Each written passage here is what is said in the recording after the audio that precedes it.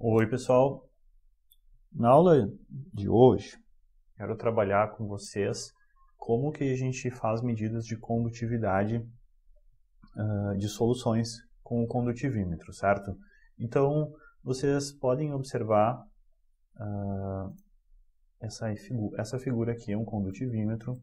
Ele tem a, o dispositivo onde está a eletrônica dele e aqui na, nessa, nessa parte que parece uma caneta tem uma tampinha e ali dentro uma célula de condutância, que são, né, basicamente, que nem essas que vocês estão vendo aqui.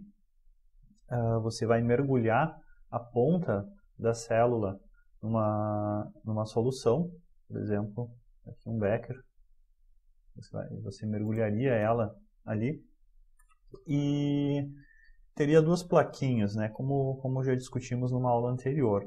Duas plaquinhas de metal, geralmente são, são plaquinhas de platina, certo? Com uma grande área superficial, uma platina né, com a superfície porosa. E elas estão a uma certa distância uma da outra, que a gente chamou de L. E existe uma área também, a área superficial de cada uma dessas placas. Então, em função das características geométricas da célula de condutância, tu vai ter uma, as tuas medidas, certo? Dentro da solução. Aí, como a gente já, já falou anteriormente, né, você tem aquele parâmetro chamado constante de célula, que é a razão L sobre A, que ele é muito importante, por quê? Porque ele permite relacionar, estabelecer a relação entre condutividade kappa, que é uma propriedade da tua solução, e a condutância, C, que é algo uh, da porção, de, é uma característica daquela porção de solução que está no espaço entre as placas, certo? Então, vai fazer diferença se as placas estão longe ou mais perto? Sim. Se a área delas é grande ou pequena, isso faz diferença? Sim, isso faz diferença. Então, a condutância C como a gente já viu antes, uh, multiplicada por L sobre A, é que vai entregar para ti o valor da condutividade, que é o parâmetro que geralmente a gente está interessado, a gente caracterizar o nosso material. E aí, gente, você tem uh, células de diversos modelos com valores bem baixinhos de constante de célula, por exemplo, 0,01 centímetros na menos 1, até outros valores com constantes de células maiores. Cada uma dessas vai ser adequada para uma aplicação diferente. Por exemplo, essa primeira aqui, 0,01 centímetros na menos 1, o que, que, o que, que representa? É um valor bem baixinho, certo? Então, quer dizer que é um L pequeno e uma área uh, grande, correto? Então, você pode imaginar que as placas são grandes e elas são posicionadas bem pertinho uma da outra. Seria talvez uma, uma situação assim. Certo? Bem pertinho e bem grande. E isso facilita o que? Facilita a medida nas soluções uh, de menor condutividade, certo? Então isso aqui é, é, é bom uh, para soluções menos condutoras. Tá? Então, justamente, esse uh, valor de 0,01 centímetros na menos 1 é o que você usa, por exemplo, para medir a condutividade de água ultrapura. Ou se você quer monitorar a água deionizada, né? são, são soluções com muito poucos íons, então elas são bem, bem pouco condutoras. Então seria necessário uma célula desse tipo. Uh, já para uso geral, normalmente é essa aqui de 1 centímetro na menos 1, certo? Então esse aqui é, uso, é um uso mais geral. Ela trabalha com uh, ele, é umas adequada para pegar soluções diluídas, até algumas um pouco mais concentradas, certo? Então, a maioria dos aparelhos, dos condutivímetros, eles são utilizados com células de 1 centímetro na menos 1. E então, assim, o que, que você poderia uh, analisar, por exemplo, água potável. Então, uh, muitos efluentes né, são, são nessa faixa aqui. Uh, você trabalha com, com algo da ordem de 150. Normalmente, né, você vai estar trabalhando aqui de 150 a 800 microsiemens por centímetro, tá bom? Com essa célula é mais ou menos nessa, você está tra trabalhando com esse tipo de coisa. Uh, e você tem ainda, né, valores maiores, certo? Você tem, por exemplo, 10 centímetros na menos 1, isso aqui é para soluções uh, mais concentradas em íons, tá? Por exemplo, uh, água do mar. Então você quer ver a salinidade da água do mar, você vai medir com, possivelmente com uma célula desse tipo aqui. Ela tranquilamente, né, vai pegar então soluções maiores. A água do mar, para tu ter uma ideia, ela ela tem da ordem de 53 milisiemens por centímetro, certo? Então é bem maior, né, uh, do que aquela aquelas uh, 150 a 800 microsiemens por centímetro que a gente falava antes. E não é só essas, é, obviamente não existe só esses valores aí de constante de célula, você tem aplicações especiais em que precisa valores ainda maiores ou menores. Mas enfim, uh, na prática, gente, né, tem uma, uma questão também que tem que ser levada em conta, que é a influência da temperatura, certo? Por quê? O valor de capa ele aumenta em, em temperatura alta, certo? Em temperatura mais alta. Então, o que, que acontece? Imagina que você tem aqui, dentro de um recipiente, você tem uma solução e a gente tem alguns íons aqui. Vou desenhar dois deles. Então, como é que fica a capacidade deles se moverem? Bom, você sabe que um íon, ou qualquer partícula, ela só vai conseguir se mover dentro do líquido à medida que abre espaço entre as partículas do solvente, nesse caso, entre as moléculas de água. E aí, é claro que a movimentação, né, a agitação das partículas é maior em temperatura alta, concorda? Então, num meio mais aquecido, fica mais fácil da partícula vir a se deslocar, certo? Então, o que, que isso, qual é a implicação disso na prática? Você precisa, né, você, você precisa uh, corrigir o, o valor medido né, de condutividade para uma temperatura uh, padrão, certo? Então, normalmente, que, que você pode fazer? Você pode medir, digamos, hoje eu estou medindo aqui uma água mineral a 20 graus Celsius, mas amanhã, talvez amanhã esteja a 22 graus Celsius, e eu vou fazer uma medida amanhã e eu vou encontrar uma condutividade diferente. E então eu tenho que fazer uma correção se eu quiser uh, fazer um relatório depois.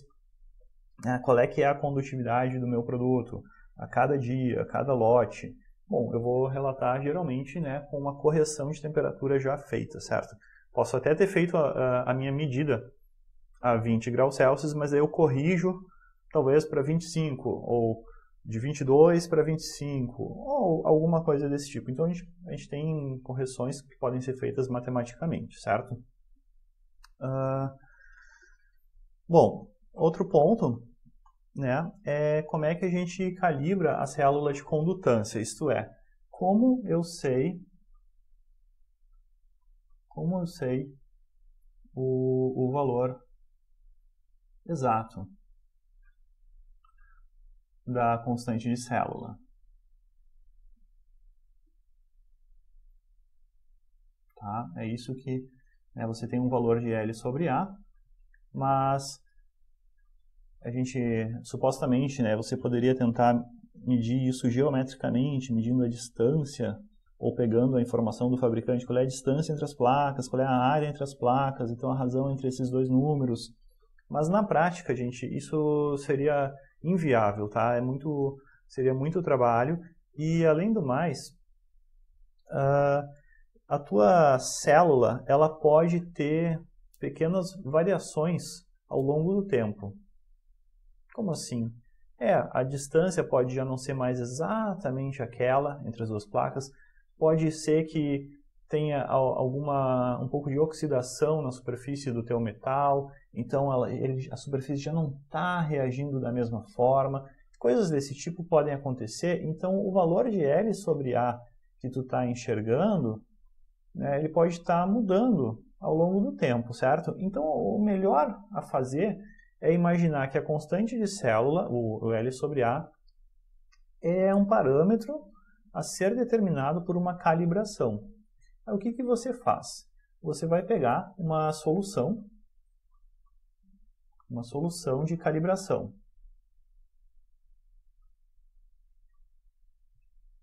Né? Por exemplo, por exemplo, uma solução de KCl aquoso na concentração de 0,001 mol por litro.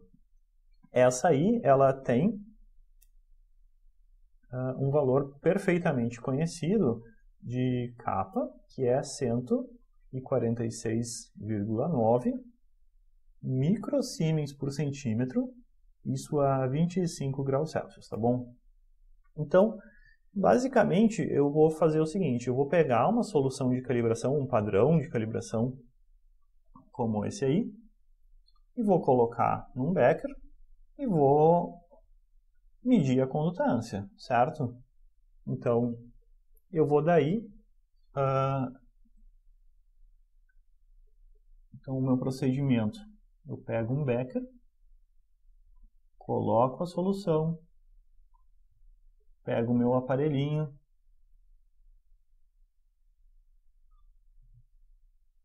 coloco ali dentro as duas plaquinhas, então, o resultado, eu tenho um valor de C e eu tenho um valor de capa, certo? Por, porque é um, um, um calibrador, um padrão. Por exemplo, esse de 146,9. E eu vou juntar essas duas informações e daí eu vou deduzir né, o cálculo ou o aparelho calcula o L sobre A, a constante de célula. Fechou? Então é isso, é o processo. Vou fazer como exercício um exemplo. Eu tenho aqui um, um condutivímetro e eu uso esse, exatamente esse calibrador que a gente mencionou. E eu encontro a resistência elétrica entre as plaquinhas de 6.600 e 5 ohms, certo? Então, né, o que, que a gente quer? Queremos queremos o valor exato de L sobre A, certo? Então eu já digo para vocês né, que o L sobre A desse é aproximadamente 1 centímetro na menos 1, só que eu quero o valor exato. Então, com quatro algarismos significativos a partir desses dados aqui, tranquilo? Então tá, pausa o vídeo e tenta fazer por conta própria aí. Pausou? Fez? Bom, vamos ver o que, que a gente encontra. Gente, o que, que, que, que essa resistência está falando aqui para gente? Ela está falando, né, enfim, aquela porção de solução entre as placas, ela está oferecendo uma resistência elétrica. E eu posso traduzir a resistência elétrica em condutância. Então, a condutância daquela porção de solução é 1 sobre R. Então, isso aqui eu vou pegar 1 sobre 6.605 ohms isso vai dar calculadora na mão. Isso vai dar 1,514 vezes 10 a menos 4. Então, 1,514 vezes 10 na menos 4 ohm na menos 1. Ohm na menos 1 é a mesma coisa que Siemens, então eu vou dizer, né, 1,514 vezes 10 na menos 4 Siemens.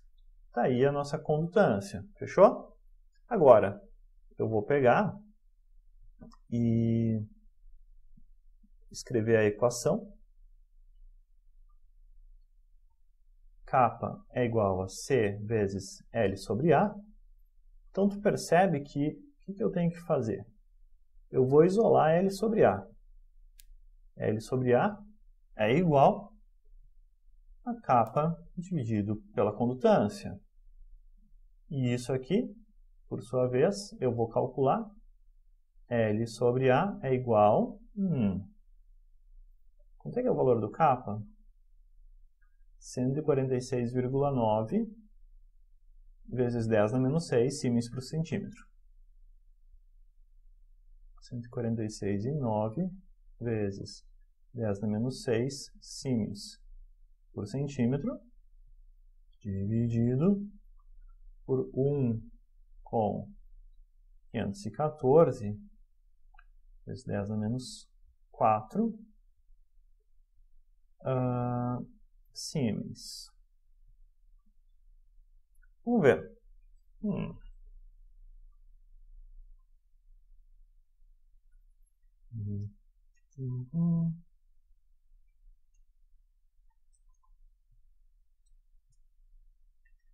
Hum, 0 com 9703.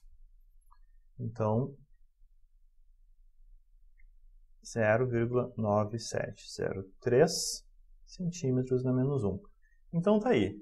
Nós podemos dizer que o valor de L sobre A ele é 0,9703 centímetros na menos 1. Esse é o valor exato da minha constante de célula. Fechou? Espero que tu tenha encontrado a mesma coisa. Eu arredondei para quatro algarismos significativos, certo? Tinha mais casas ali, eu deixei apenas com quatro significativos. Bom, uma vez que você calibrou a tua célula, tu pode usar ela para fazer medições. Então, vamos dizer que eu tenho uma amostra de água mineral e eu quero medir a condutividade dela, determinar a condutividade dela.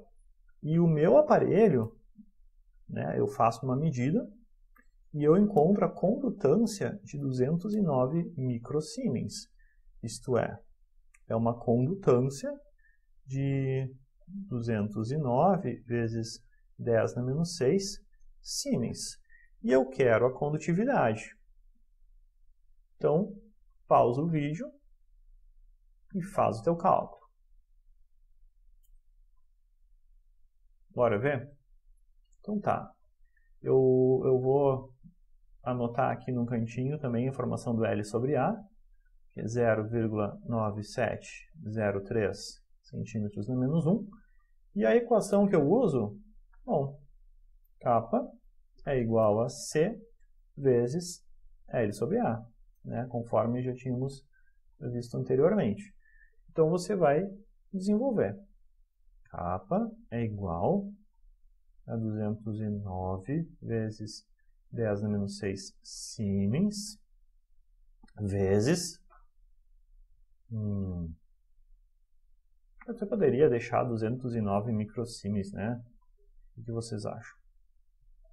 209 microsiemens vezes 0,9703 centímetros na menos 1.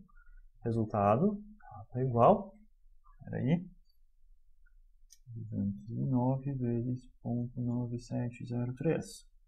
Hum, uh, fica, a calculadora está me mostrando aqui 202,79 2,79 microsiemens por centímetro, só que isso aí está com algarismos demais.